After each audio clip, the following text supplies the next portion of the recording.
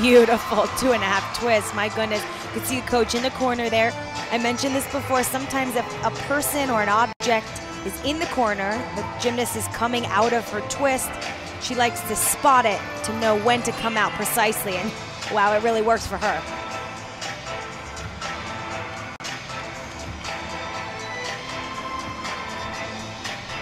She is a fantastic twister. She's one of our taller gymnasts, and just her lines as she twists is beautiful.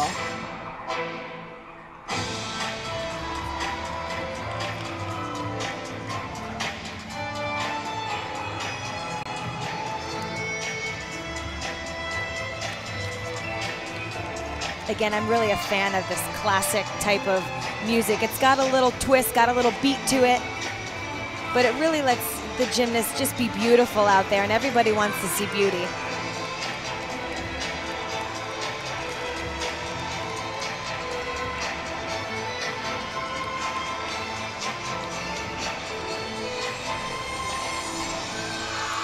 And that was a gorgeous routine.